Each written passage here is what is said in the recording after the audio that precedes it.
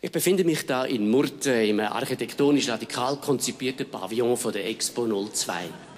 Nachdem sich immer mehr Grossfirmen aus dem nationalen Projekt zurückgezogen haben, baut die Expo-Führung jetzt vermehrt auf die Unterstützung von eher kleinen Unternehmen. Und die sind da bereits präsent.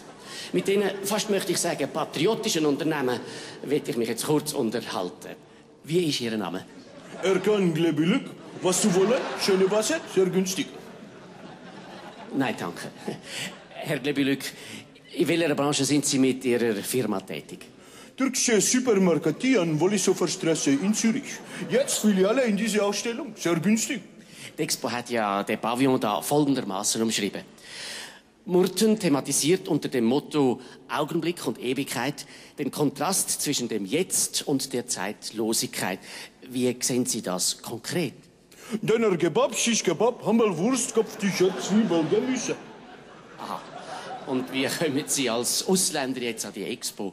Hat Sie der Herr Steinecker... Hey, du, ich kein Neger.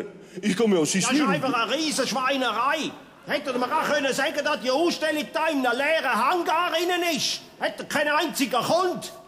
Ja, warte, da könnt ihr mit dem Swissair machen, aber nicht mit dem Harry. Ja, warte, du bist doch einfach ein Pfeife. Weißt du, was du nicht hast? Hä? Unternehmerisches Denken, jawohl. Sie gehören offenbar auch zu den Sponsoren von der... Saletti, du, äh, ich muss schnell ein Geschäftstelefon abschließen, gell? Lass mal, du Arte, Blast, du Künstlerische, du, wenn ich dich das nächste Mal sehe, dann kommst du ein paar an die Schnorren über. So, was darf's denn sein? Wir machen da eine Reportage über Schweizer Unternehmen, die nicht nur an ihre Profit, sondern auch an ihre Nationalverantwortung denken. Und kaufen willst du nicht? Hä? Nur Schnorren und die da gratis aufgeilen, oder was? Was ist denn das für eine Art von Firma, die Sie da repräsentieren? Import-Export, wenn du weißt, was ich meine. Aber das hat ja nichts mehr mit dem Bild von der Schweiz als Willensnation zu tun. Ja, was? Was ist denn da, da, da? Hä? Das ist Mutter Helvetia zum Aufblasen. Ja, und das da? Das ist ein Basler Stab. Da macht man den Türken denen Konkurrenz. Hammelwurst, sehr günstig.